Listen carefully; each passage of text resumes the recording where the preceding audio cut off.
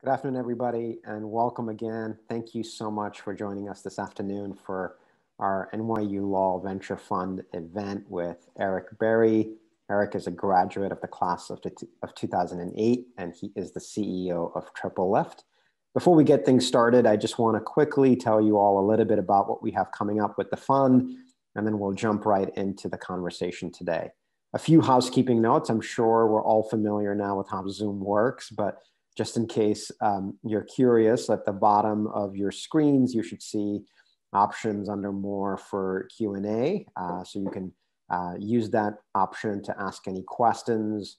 Uh, unfortunately, we can do this in person, but we certainly want to make this as engaging as possible and we want this to be a dialogue. So uh, I'll certainly be asking Eric a number of questions, but would love to hear from each and every one of you and feel free to use that function whenever you would like. I'm going to quickly uh, share my screen here and um, just let you a little bit, let you all know a little bit about the venture fund. Um, and if you're not aware, uh, the fund's mission is to empower our students and our alumni by uniting, educating, and investing in promising entrepreneurs and their startups. And to do so, we offer a variety of different programs. Uh, a few of them are aimed towards our students, and then we certainly have programs for alumni as well. The student programs include our summer internships, which allow for 1L students after their first year to intern at an emerging startup. Uh, we have two interns who are going to be working at startups this summer. And then our summer grants program, which actually um, the application deadline is this week, uh, which allow for 1L and 2L students to spend a summer working on their own business idea. Eric, thank you. I know over the past two years, you've been a mentor for those students over the summer, so really appreciate your involvement with that. And then for alumni who are, and students who are building early stage companies and are looking to raise seed stage capital, we also make investments into their seed stage fundraising rounds up to 50K in check sizes. We've made two investments so far. And so if you're interested in that, please don't hesitate to reach out to me. And then certainly we do a whole host of events and look to connect our community as well. I'll mention one upcoming program that we have that's open for all students, uh, both JDs and LLMs. That's uh, going to be taking place at the end of March. It's a business plan competition. We'll be awarding um, some cash prizes, more information to come on that, and there's some information here on the screen. But with that, uh, I'm thrilled to welcome Eric. Um, Eric, as I mentioned, is the co-founder and CEO of TripleLift. I'm not going to read Eric's bio here because I want us to have a conversation, but just wanted to share a little bit about who Eric is and what his background is. Um, but I thought it'd be interesting, Eric, just to perhaps share what your background is on your Twitter account, which says CEO of TripleLift, former M&A lawyer, sarcastic, New York. And I think th- those are terrific ways to introduce you. So, welcome, uh, Eric. We're thrilled to have you. Um, since I haven't done a full on introduction, why don't you tell, tell everybody who's here this afternoon a bit more about yourself? I think that that sums it up. Um, but uh, yeah, so I guess uh, in a little more detail, um, uh, maybe biographically, yeah. Um, did undergrad and grad school in computer science at MIT. Did AmeriCorps for a year. Uh, then I went to NYU Law. Um, and I honestly had no idea um, what part of law or anything. Like, you know, some people go in and they're like, I want to be a constitutional or something or whatever. And I was not one of those people. Um, and I kind of got like steered in the business direction. Um, there is a program that I think is now called the Jacobson Program in Law and Business, and at that time was called something different. And I did that, and that was great. That was great, uh, and that was very helpful for me. Um, I, I, went to work at Simpson Thacher uh, for a couple years. I would not say that was my favorite experience. Uh, and then I left to uh, go to an, an ad tech startup in New York called AppNexus, and I was one of the first 40 people there. Subsequently sold to AT&T for like 1.6 billion, and then I started TripleLift um, in 2012, so almost 10 years ago now, and uh, with two guys I met from there, and we've been doing that. Great, thank you, Eric, and a lot that I'd like to unpack in that. Um, so maybe we can just spend a little bit of time uh, to those days while you were at law school. Why did you descend, decide to attend NYU Law? Um, yeah, I mean, I think NYU had had so having just come from AmeriCorps, um, you know, I think it, like NYU had, had a very good public interest program, and that was uh, that was something I was interested in, and it also had a very good corporate program. And I knew that I had this ambivalence between those two directions. Uh, you can see which one out, but um, the I, I, felt like NYU would be a good place for me to explore uh, that ambivalence uh, in a place that could help me succeed in either. And that led you to Simpson to start. Yeah. And I know I know you've talked a lot about your experience at Simpson, but I'm curious specifically about the the time that you spent there. How did you feel about the work that you were doing and what led you to want to leave?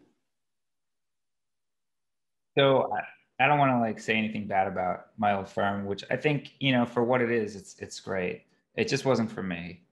And um i some people are really passionate about the work and some people really like it and i was not one of those people and I think that was like very evident to me very early on. Um, and I got no satisfaction from it. And so, you know, I think uh, I, I, when I was at Simpson, I was like, if I'm going to hate my life, I might as well make more money doing that. And so I took the CFA exams. And then I was like, wait, no, this is a terrible idea. This is like, this is not how to operate.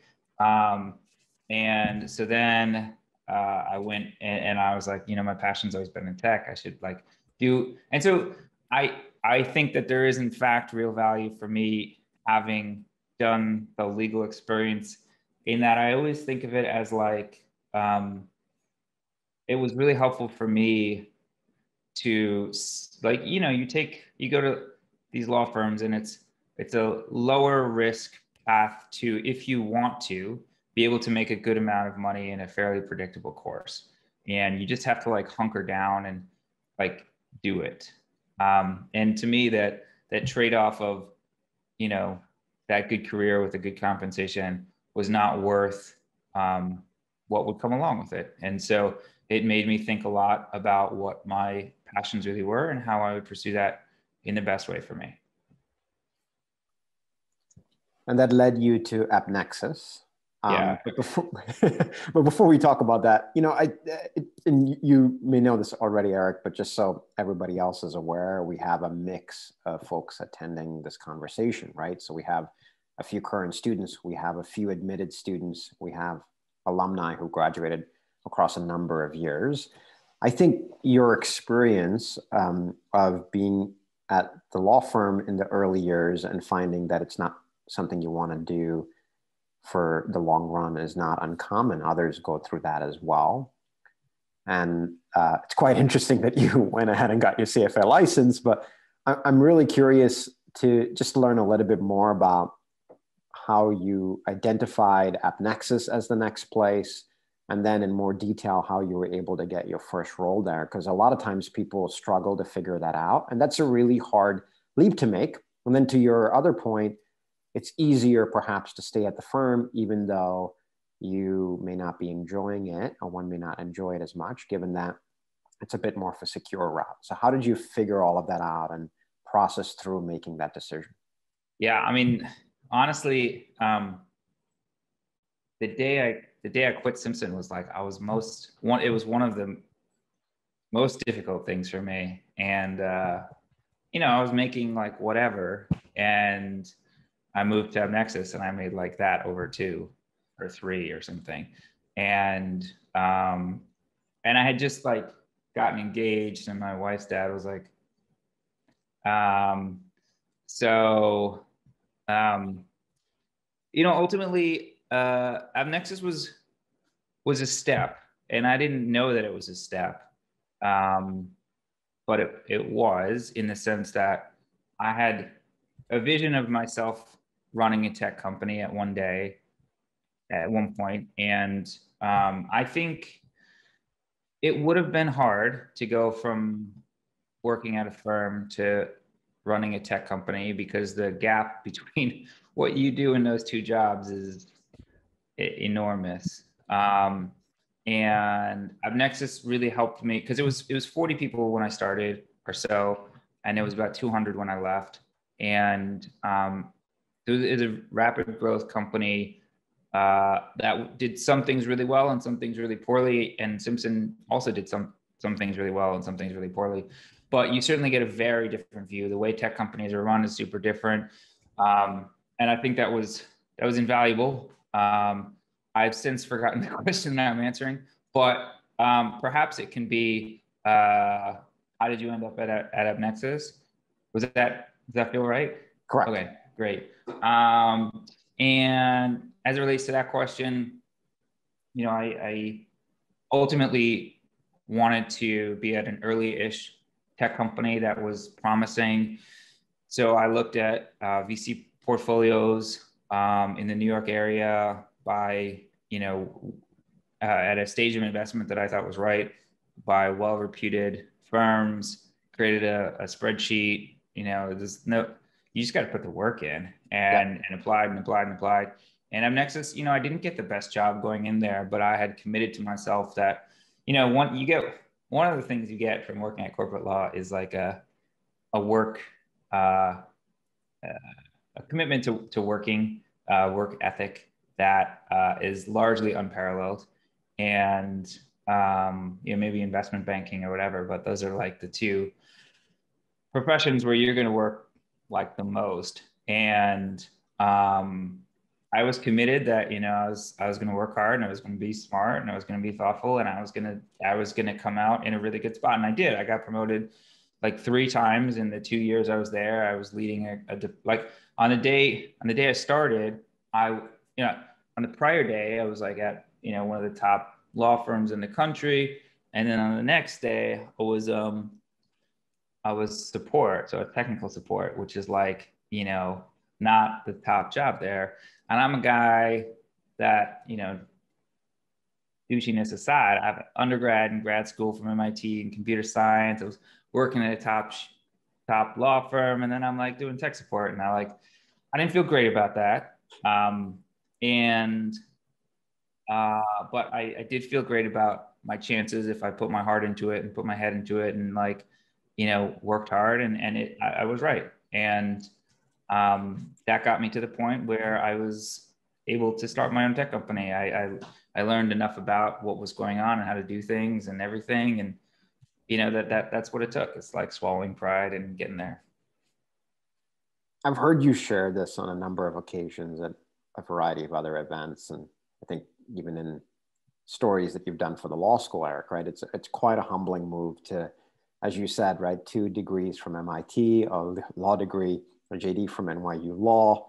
You're an associate at a firm, and here you are now doing tech support at AppNexus.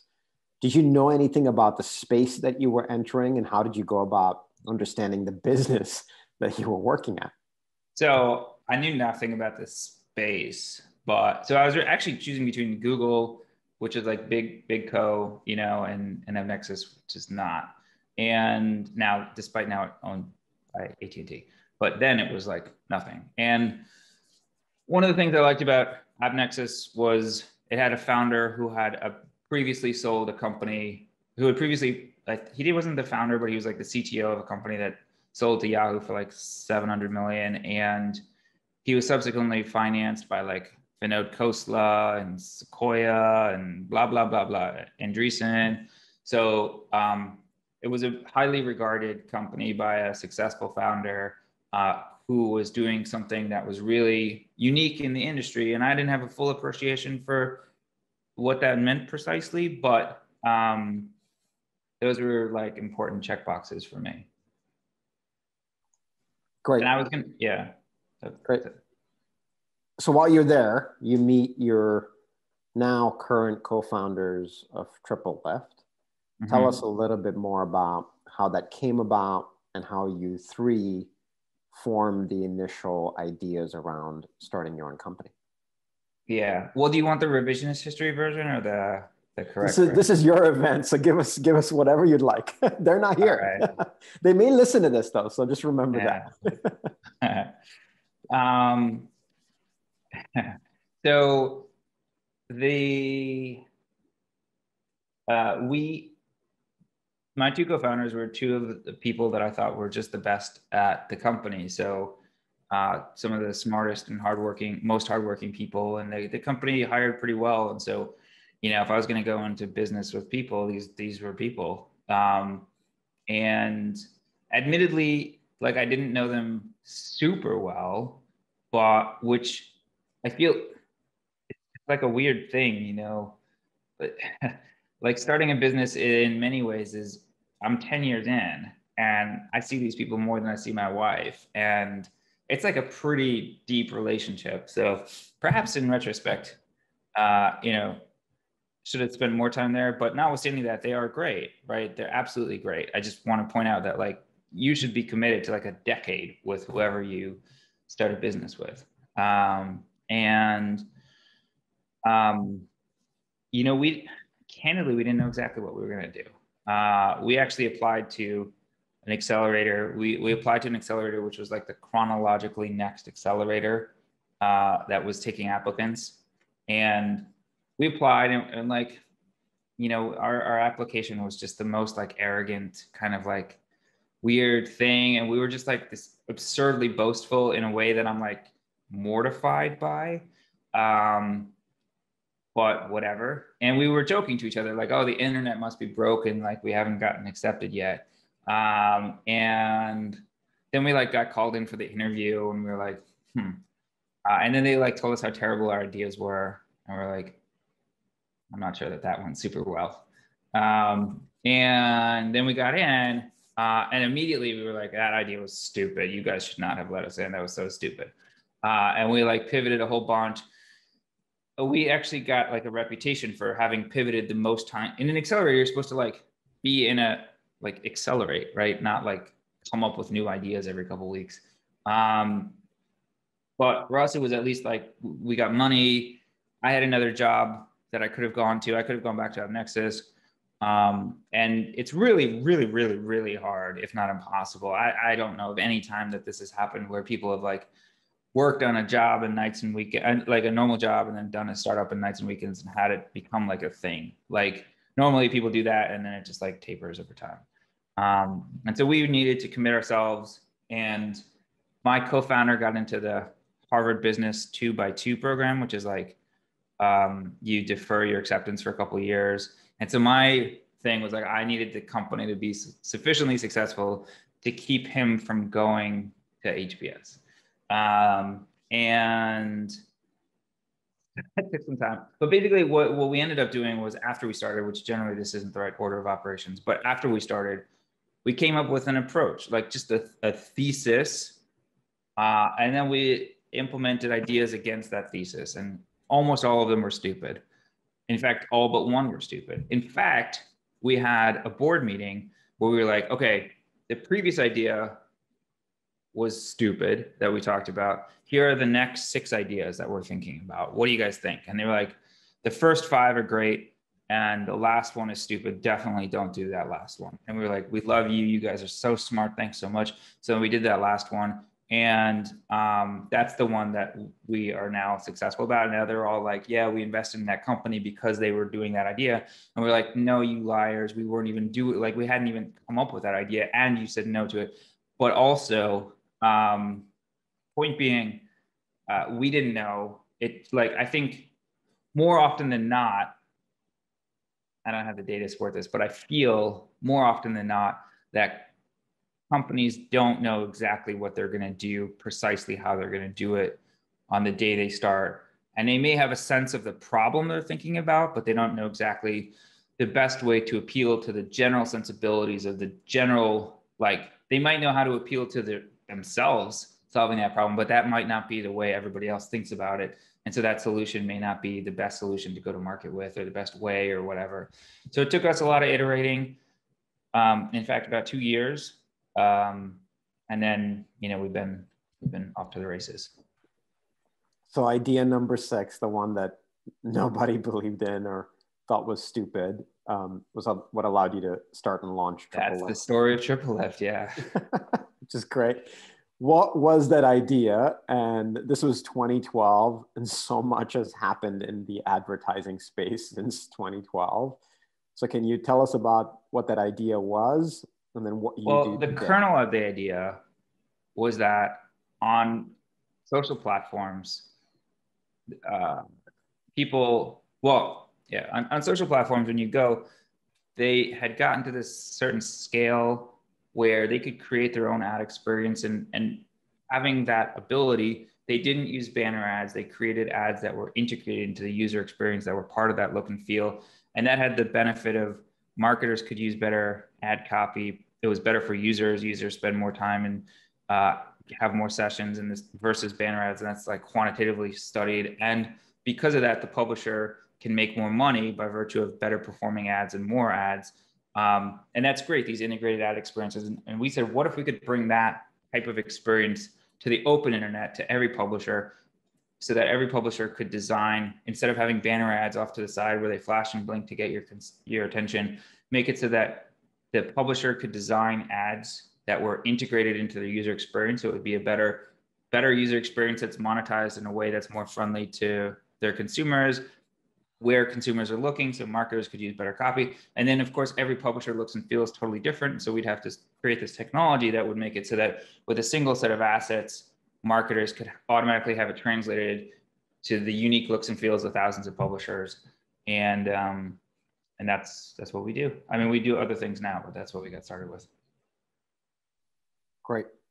Eric i think it's so impressive that over the past 12 years TripleLift has been recognized for a number of different accolades. I'm not going to run through the exhaustive list here, but I want to focus in a little bit about your role as CEO. You were named EY's Entrepreneur of the Year in 2019. And then I think most recently, the company was recognized by Deloitte, by Inc., and I think also by Crain's as one of the fastest growing companies for the fourth year in a row. So, congrats. It's really, really terrific. Thanks. I, I, want to hear more about your leadership style, how that has been formed over the years, and then also want to talk about how you've continued to manage such incredible growth. Uh, yeah.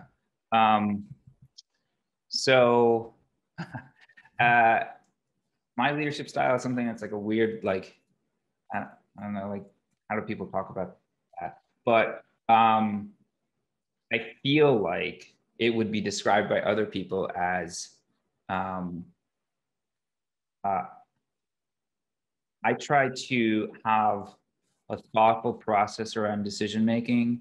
And so I try to um, get uh, discussion around important points through enough points of view um, and then have enough information expressed that a decision is is more clear as and and I, I am very much against like decisions in a single meeting and more decisions in like thoughtful documents um, where people have time to ruminate because whatever. That's one thing. Another thing is like being thoughtful about the individual experience. Um, and so i think people are very comfortable talking to me. I, I don't know that's a leadership style. I think that's just whatever. But like um, and then thinking about the individual experience means how do people relate to the company and how can you because like ultimately we want to get the most out of our people and hire the best people but like the first bit is super important. So how do you set people up to give you the most? And um and i think that's like a different it's almost the uh, exact opposite equation from from the law firm where the law firm is like how do we extract the most from our people? And and and that's a different question than how do we get the most from our people which is like how do we and especially if you think about covid times like the relationship between an individual and their firm is is almost inverted where my experience is what i choose to make of it uh, because like i'm at my computer at home and nobody knows what i'm doing all day. And um, and so you have to make it so people want to um, give it their their best. And their best if they're thoughtful and intentional and mean well is so much different than like if you like just like force the most hours of work product from them. Um, and so yeah, that, that's what I think about managing through growth is like, you know, we've grown our headcount 50% a year for a long time now. Uh, and so every year we go through the same exercise and it's like robust planning about every little piece of the company. And, you know, I guess there's, there's a lot of like attention to detail and meticulousness that goes into our planning process. So like I spend months, months on planning. Um, and it like, it doesn't just happen that, you, you know, um, and so we think about, uh, you know, our, we are also a profitable company. Um, and so that, that planning goes hand in hand with like, that doesn't just happen. And so, you know, we think exactly about how people are going to onboard, for example, we think onboarding is one of the most important things. So we spent like months of time, like putting together uh, extensive onboarding. We have Triple F, Triple F University, which is like hundreds of courses that people go through when they start. Um, and I think that's probably one of the most important things because a lot of companies phone in onboarding, and I think that's just absolutely detrimental. And it's, I think, a very, very important part of somebody joining a team, right? How do you onboard them? What's their experience like, et cetera? Um, I just want to remind everyone, feel free to uh, pop in questions because I certainly want to include them. And Eric, I'll ask you one that came in in just a minute here, but I wanted to touch a little bit more on what you talked a little bit earlier on in terms of your style or this process of decisions being made through a written document, getting everybody's input in before making a decision. Recently read or heard somewhere you, you you're sharing this example, so I just think it'd be helpful for you to tell the, tell the everyone here today a bit more about it. Uh, when it came to COVID, um, you've created a structure, from my understanding, where it seems like folks can submit ideas around how they can work in this environment, what cultural values that the team should have, and these are ideas that can be sent in via writing, and then the the winning person or team gets rewarded or, or something like that. So anyway, since you're you're the one who's come up with this, can you tell us a little bit more about that? Because I think it's illustrative of one of the things that you do so well. Yeah, I mean, I think backing that concept out a little bit, we have a notion of um, we've always believed that great ideas can come from anywhere in the company, but that they don't necessarily if you don't create the um, the conditions for them to emerge. And so we've tried to create the conditions for them, uh, and that includes, for example, regular competitions with like structured prompts where the answers are graded anonymously and the winner is you know recognized and gets like a couple thousand bucks or whatever and so it's like it's meaningful money and um, it also gets people everyone in the company thinking about the questions. And you know oftentimes we do implement some of the ideas. And so uh, in covid you know right away we did um, what can we do to like make this better for everyone? Uh, and you know we wanted to hear everyone's thoughts. It was like how's it going? How can we make it better? Whatever. Well not how's it going because that wasn't the question. But um and there were some good ideas and some not so good ideas and we we did a lot of it. And i think you know everyone's experience with covid has changed over time. You know at first like happy hour seemed like a good idea and now they don't.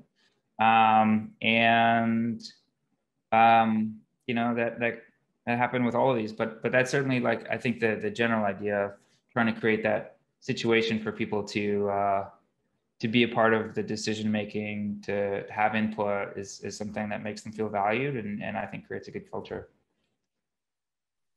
that's great and yeah uh, i remember and i'm sure everybody does you know march april may 2020 where we were like call and Zoom everybody. And now we're like, please, I don't want to be on uh-huh. Zoom for all day and all night. But uh, Eric, this question came in and you, you touched on this a little bit earlier. And so I want to just go back to that uh, about your relationship with your founders.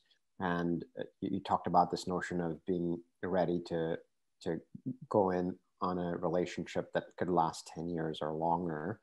So fast forward to today, how have you managed and maintained to to keep that relationship strong? What does that look like uh, in present day?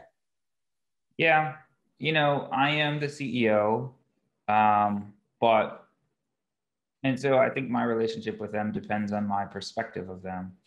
And if I had a different perspective, I think I would have managed it differently. But notwithstanding that I'm the CEO, I view them as instrumental to the success of the business. I view both of them as instrumental.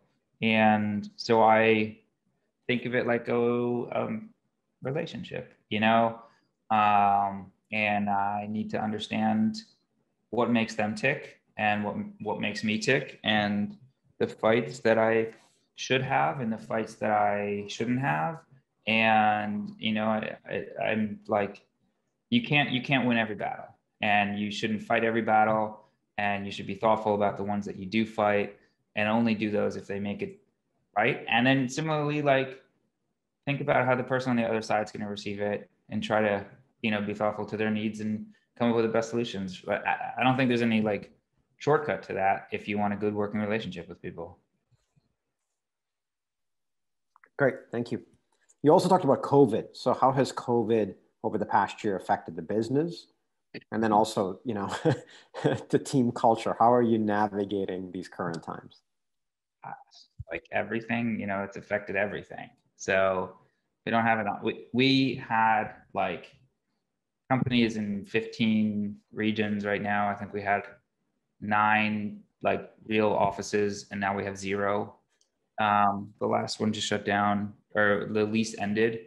So um, we were fortunate that our leases ended during this time, including our New York headquarters, and that saved us a lot of money. And um, but like nobody sees each other, right? And and there's no there's no easy way around that. We do things like uh, there's a software called icebreaker.video, which is like you meet random one-on-one people for like five minutes and like over and over again. It's great.